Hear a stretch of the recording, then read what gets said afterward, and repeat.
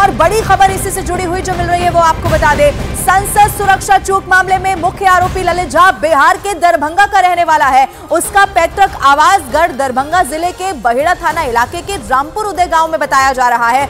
ललित झा के पैतृक आवास पर डीएसपी मनीष चंद्र चौधरी ने पहुंचकर उसके माता पिता से पूछताछ की है। संसद की सुरक्षा में चूक मामले में मास्टरमाइंड बताए जा रहे आरोपी ललित झा के माता पिता ने अपने बेटे को बेगुनाह बता दिया है। एक के बाद एक कनेक्शन भी सामने आते जा रहे हैं और अब जानकारी ये मिली है चूँकि माता पिता से भी पूछताछ हुई है, हालाँकि उनकी तरफ़ से अपने बेटे को बेगुनाह बताया गया है। बिहार के दरभंगा में पुलिस ने ये पूछताछ की है और अभी भी माना जा रहा है कि जो पूछताछ का दायरा है, जाँच का दायरा है, वो लगातार बढ़ाया जा रहा है। तो अभी भी बहुत सारा जो पर्दाफाश है, वो हो सकता है। ऐसी कई सारी कड़ियाँ जिस तक पुलिस पहुँचने की कोशिश कर रही है, वो भी जल्द सामने आ सकती है। बिहार के दरभंगा में पुलिस ने पूछताछ की है। संसद सुरक्षा चूक मामले का आरोपी है ललित झा। मास्टरमाइंड अभी तक बताया जा रहा है।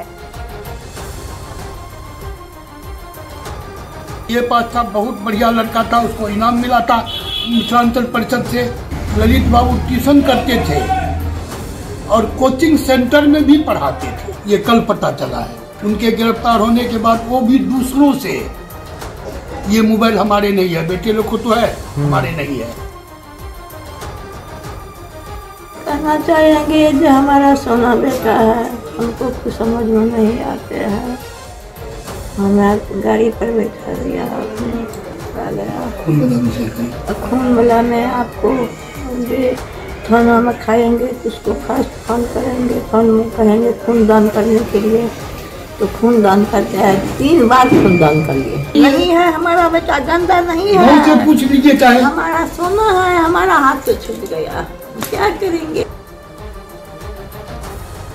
और इसी जाँच के दौरान ये बात भी सामने आई है कि सबूत मिटाने के लिए आरोपी ललित ने ही अपने साथियों के मोबाइल फ़ोन राजस्थान में जलाकर नष्ट कर दिए थे। सूत्रों का दावा यह है कि घटना को अंजाम देने से पहले ललित ने चारों आरोपियों सागर, नीलम, अमोल और मनोरंजन के मोबाइल फ़ोन भी अपने पास ही रख लिए थे। और घटना के बाद वो उन मोबाइल फ़ोन के साथ ही फरार हो गया था। पुलिस सूत्रों के मुताबिक पूछताछ के दौरान ललित ने ये दावा किया कि सबूत मिटाने के लिए उसने चारों मोबाइल फ़ोन जलाकर नष्ट कर दिए। सूत्र बताते हैं कि ललित ने मोबाइल फ़ोन को राजस्थान के नागौर में जलाया है और उस दौरान उसका दोस्त महेश भी उसके साथ मौजूद था। सूत्रों का दावा ये है की संसद की सुरक्षा में सेंधमारी ऐसी से पहले ही ललित ने चारों आरोपी नीलम, अमोल, सागर और मनोरंजन के फ़ोन अपने पास रख लिए थे।